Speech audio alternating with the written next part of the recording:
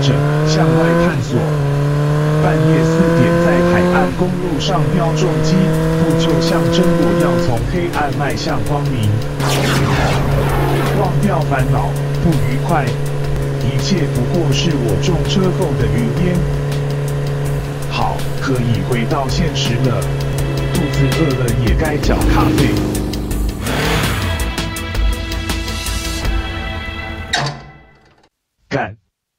停电！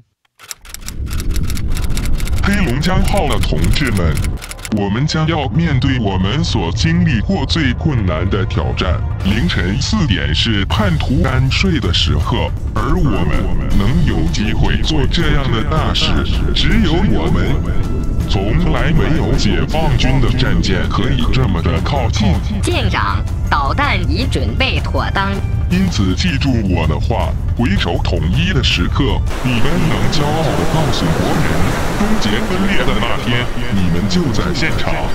现在发射导弹。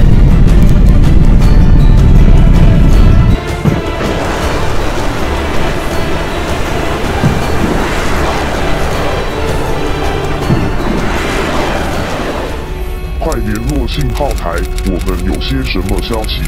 奇怪，信号台似乎消失了。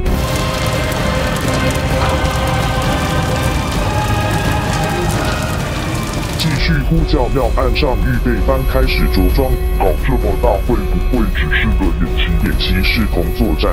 舰长，第一波攻击，导弹已经摧毁信号台与发电厂。太好了，正在锁定澎湖油库，趁他们还搞不清楚状况，好让我们继续下一个目标。愚蠢的台湾人，我们才是赢家。目标锁定完成，导弹发射。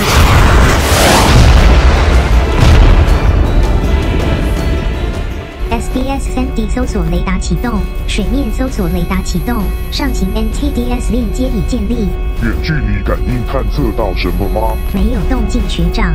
岸上守备大队，他们也不清楚发生了什么事。根据 SOP，现在要将红外线影像、作战图和情况下载到 MK 十三。MK 十三，那等于要启动 WUD。这样暗电不知道吃不吃得住，而且还要知会留守长官，立刻通知副舰长。另外叫轮机班快快点炉。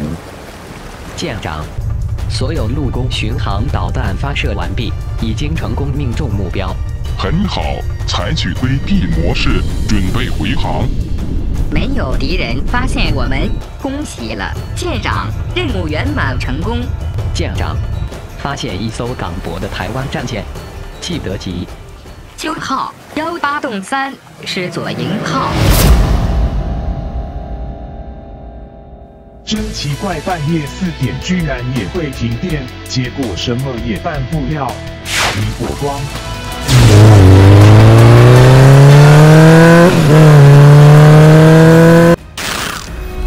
局长跳电了。不是暗电供应中断。电炉还需要时间，现在只能靠船上的紧急发电机。我们必须把所有人都带回家。给我三分钟时间做好准备。是，舰长。我们已经得手了，而且还不会遭遇到法潜机队。副舰长，如果鱼代表发现我们有机会击沉台湾海军中最大吨位的驱逐舰，却没有立刻采取行动，那会怎么样？副舰长正在赶来，他要我们先照 SOP 走。士官长正下到波谷间关闭 MK 七十四、MK 二十六，只保留电力给 MK 八十六。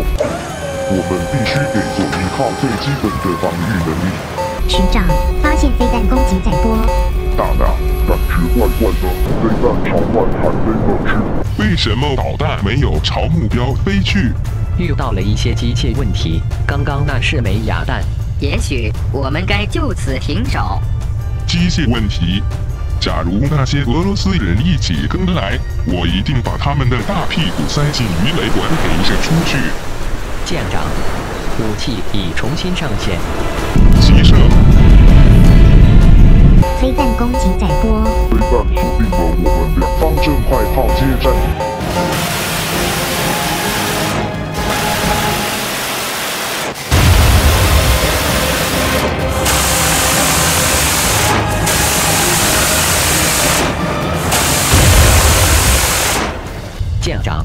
我们双导弹撞上对方的防御系统已经失效。还有一枚，舰长，我们至少该留一枚战备弹。Wiley，我们成功了。到了学长，真是好险。学长，有一句 CIWS 没有回应。该死，一定是那台旧的 Bluffy。我去检查。不，你留下，我私身我去。学长危险！